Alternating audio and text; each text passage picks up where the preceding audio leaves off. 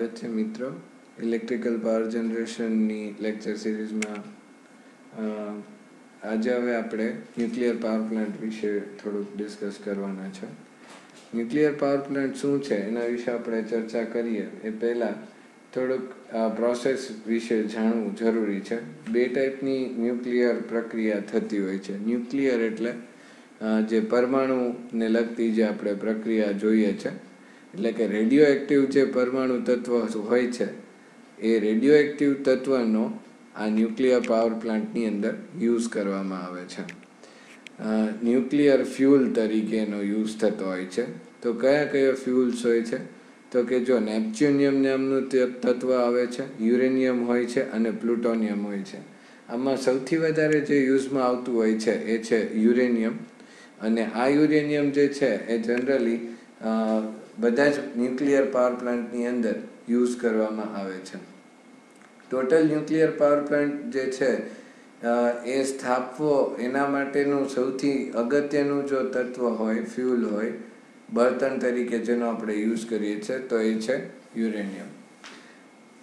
હવે આ radio active તત્વોની અંદર બે પ્રકારની રાસાયણિક પ્રક્રિયા એટલે કે પરમાણવીય પ્રક્રિયા થતી હોય છે, જેને આપણે ઇંગ્લિશમાં ન્યુક્લિયર ફિશન અથવા તો ન્યુક્લિયર ફ્યુઝન એવી રીતે આપણે ઓળખીએ છીએ હવે આ ન્યુક્લિયર ફિશન અને ફ્યુઝન શું છે? તો સૌથી પહેલાં આપણે જે જોવા જઈ રહ્યા છે, એ છે ન્યુક્લિયર ફિશન પ્રક્રિયા. એટલે કે ન્યુક્લિયર ફિશનમાં શું થાય છે? તો કે એક રેડિયો એક્ટિવ તત્વ હોય છે. આ રેડિયો એક્ટિવ તત્વ એટલે કે આપણે યુરેનિયમ એ લેવામાં આવે છે. એની અમુક ફિક્સ માત્રાની અંદર. ખૂબ જ ઓછું લ્યો તો પણ ઘણું થઈ રહે છે. બરાબર છે? આની અંદર જે છે એ યુરેનિયમ જે છે એના ઉપર ન્યુટ્રોનને અથડાવવામાં આવે છે. હવે આ ન્યુટ્રોન અથડાવાથી શું થશે? તો કે ન્યુટ્રોનના અથડાવાથી બે હલકા એટમ્સ એટલે કે પરમાણુ એમાંથી છૂટા પડે છે અને સાથે ઉષ્મા જે છે એ ઉત્પન્ન થાય છે. આ બંને પ્રક્રિયા જે છે બે હલકા તત્વ એટમ્સ છૂટા પડવાની અને સાથે ઉષ્મા ઉત્પન્ન કરવાની એ બે એકબીજાની સાથે સાથે એક સાથે થતી રહેતી હોય છે. ફિશન જે છે એ શું કરે છે? તો કે હેવી એલિમેન્ટ્સનો યુઝ કરે છે. જેમ કે બધા જે છે એ કેવા? તો કે exothermic રિએક્શનવાળા which can release large amounts of energy એટલે જે યુરેનિયમ છે, એના પર જ્યારે તમે ન્યુક્લિયર ફિશન પ્રક્રિયા કરો છો એટલે કે ન્યુટ્રોનને એના પર અથડાવો છો, ત્યારે શું કરશે તો કે એક સાથે ખૂબ જ બધી ઊર્જા જે છે એ ઉત્પન્ન કરશે અને ઇલેક્ટ્રોમેગ્નેટિક રેડિયેશન પણ જે છે એ ઉત્પન્ન થતું હોય છે. હવે આ જે પ્રક્રિયા એક વખત ન્યુટ્રોન મારવાથી બસ ખાલી બે હલકા તત્વોમાં કન્વર્ટ થઈ જશે એટલું જ? ના, એવું નથી. તો સાથે જે છે એ બીજા ન્યુટ્રોન્સ પણ છૂટા પડે છે. હવે આ જે ન્યુટ્રોન છે એ બાકીના જે બે હલકા તત્વો જે છૂટા પડ્યા છે, એના પર ફરીથી જે છે એ અથડાશે અને ફરીથી પાછું એની અંદરથી બીજા બે હલકા તત્વો છૂટા પડવાની પ્રક્રિયા થતી હોય છે અને ત્યારબાદ ઉષ્મા ઉત્પન્ન કરે છે. તો આ જે વસ્તુ છે, એને આપણે ચેઇન રિએક્શન તરીકે ઓળખીએ છીએ.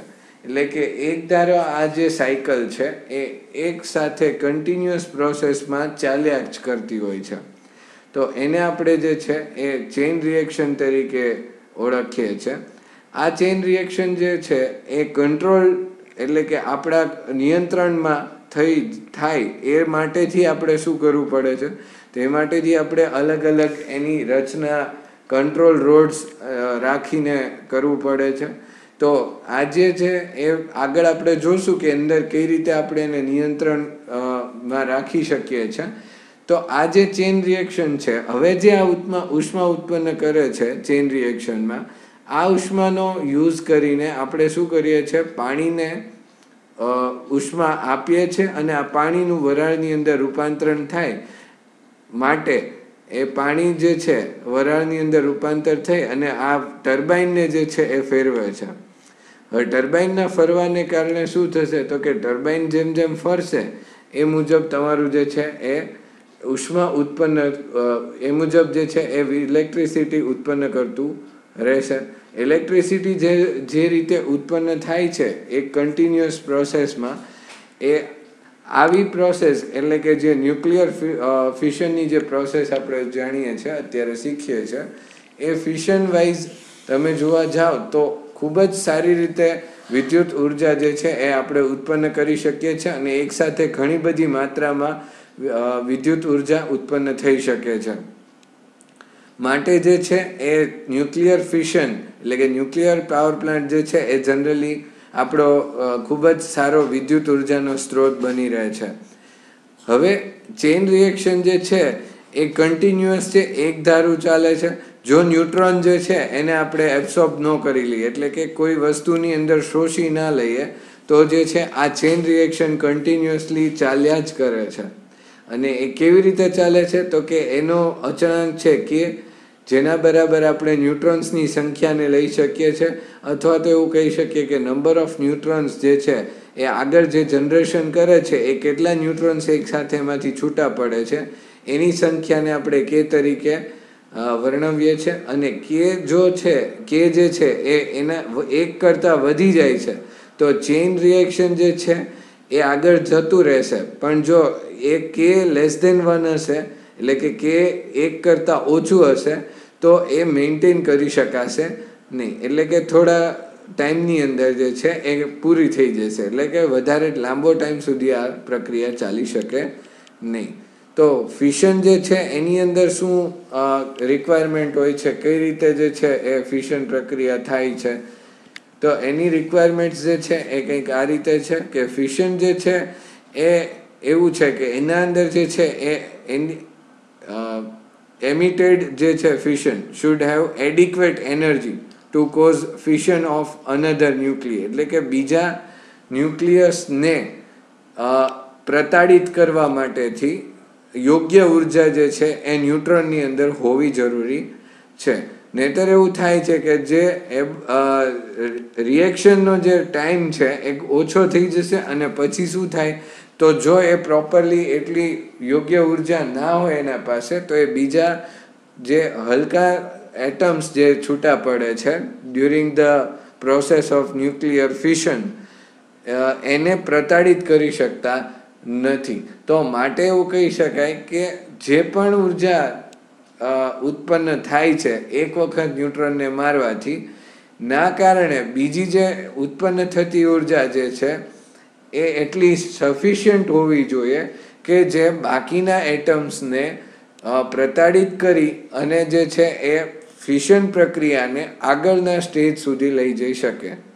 તો આ જે રિક્વાયરમેન્ટ છે એ ખાસ જરૂરી છે ને ના માટે શું કહેવામાં આવે છે? તો કે જે યુરેનિયમ આપણે લઈએ છીએ એ તત્વ જે યુરેનિયમ છે રેડિયો એક્ટિવ એલિમેન્ટ એને પ્રોપર માત્રાની અંદર આપણે અંદર યુઝ કરવું પડે છે કે જેથી કરીને જે છૂટા પડતા ન્યુટ્રોન્સ છે, ની ગતિ અને જે બીજા એટમ્સ છૂટા પડે છે, એને પ્રતાડિત થવાની ગતિ એક સરખી રહે અને મેન્ટેન કરી શકીએ આપણે. માટે એવું કહેવામાં આવે છે કે ફિશન પ્રોસેસ જે છે, એના માટેથી માસ જે યુરેનિયમનો જે જથ્થો છે, એ પ્રોપરલી સિલેક્ટ કરવો જોઈએ, જેને આપણે ક્રિટિકલ માસ એવી રીતે પણ ઓળખીએ છીએ અહીંયા આગળ તમે જુઓ છો કે એક ન્યુ એક જે છે રેડિયો એક્ટિવ એલિમેન્ટ ઉપર આપણે એક ન્યુટ્રોન માર્યો. ના કારણે શું થયું? તો કે એક બીજું ન્યુક્લિયસ અને એક ન્યુટ્રોન છૂટો પડ્યો. એવા ટોટલ બે ન્યુક્લિયસ બે ન્યુટ્રોન એમાંથી એક ન્યુટ્રોન બીજા ન્યુક્લિયસને બીજો ન્યુટ્રોન બીજા ન્યુક્લિયસને પ્રતાડિત કરશે ને આ રીતે આગળ ઉપર તમે ફર્સ્ટ સેકન્ડ થર્ડ અને ફોર્થ જનરેશન સુધી પહોંચતા પહોંચતા આવા આવા ઘણા બધા ન્યુક્લિયસ છે એ પ્રતાડિત થઈ ગયા હશે. ને ના કારણે શું થશે? તો કે હવે ઘણી બધી એકસાથે ઉષ્મા ઉત્પન્ન થશે. તો આને જે કહેવાય છે, આને ફ્યુઝન પ્રોસેસ કહેવાય છે.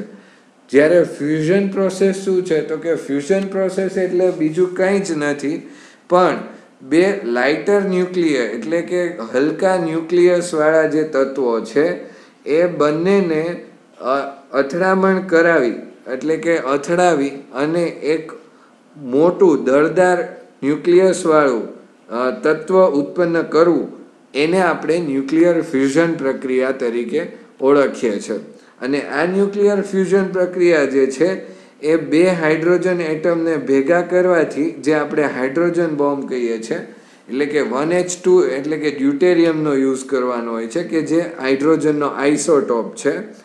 આ બંનેને જે છે આપણે પ્રતાડિત કરી અને હિલિયમને જનરેટ કરીએ છીએ. હિલિયમની સાથે સાથે શું થાય છે? તો કે એક ન્યુટ્રોન અને પ્લસ એનર્જી જે છે એ લેબરેટ થતા હોય છે. લિબરેટ થવું એટલે કે છૂટા પડવું. તો આ જે હિલિયમ એટમ છે, એ શું કરે છે તો કે એ બે ડ્યુટેરિયમ ન્યુક્લિયસનો ભેગો થઈ અને એક હિલિયમ ન્યુક્લિયસ બન્યો છે કે જે એની સાથે સાથે ઘણા બધા માત્રાની અંદર ઊર્જા ઉત્પન્ન કરે છે. એટલે કે ઊર્જા એટલે અહીંયા ઉષ્મા ઉર્જાના સ્વરૂપે ઉત્પન્ન થશે.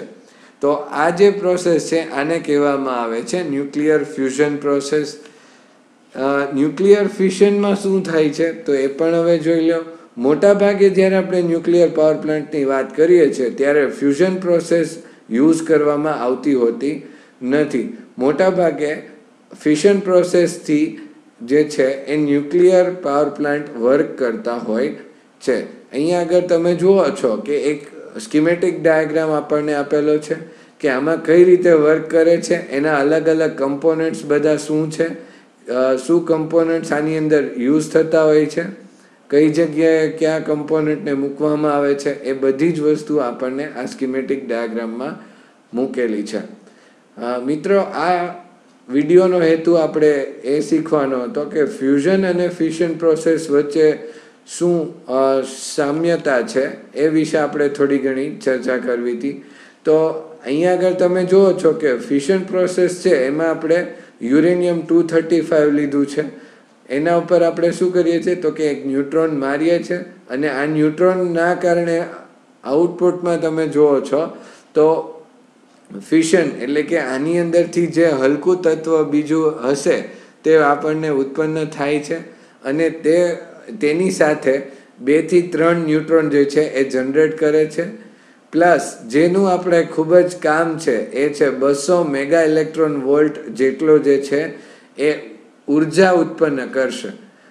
આ જે છે, એ આપણા કામની વસ્તુ છે, કે જેને કારણે આપણે શું કરીએ છીએ તો કે આ જે પાણી રહેલું હોય છે, એ પાણીને વરાળની અંદર કન્વર્ટ કરીએ છે. બરાબર છે? તો આગળ ઉપર આપણે પછી આની ટોટલ આખી જે પ્રોસેસ છે, એ કેવી રીતે ચાલે છે એ આપણે સમજવાની છે. અને ન્યુક્લિયર પાવર પ્લાન્ટના અલગ અલગ પાર્ટ્સને આપણે વ્યવસ્થિત રીતે ડિસ્કસ કરશું. તો અહીંયા સુધી આ લેક્ચરનો જે મોટિવ હતો, એ આપણે એવો હતો કે ફ્યુઝન અને ફિશન પ્રોસેસ શું છે એ આપણે સમજીએ. તો અહીંયા સુધી તમને બધાને ખ્યાલ આવી ગયો હશે. જો તમને મારો વીડિયો ગમ્યો હોય તો આપ મારી ચેનલને જે છે એ સબસ્ક્રાઈબ કરી શકો છો અને વિડીયોને લાઈક અને શેર કરી શકો છો. તો આ સાથે આપણે અહીંયા સુધી રાખીએ છીએ આ lecture. Thank you. Thank you very much.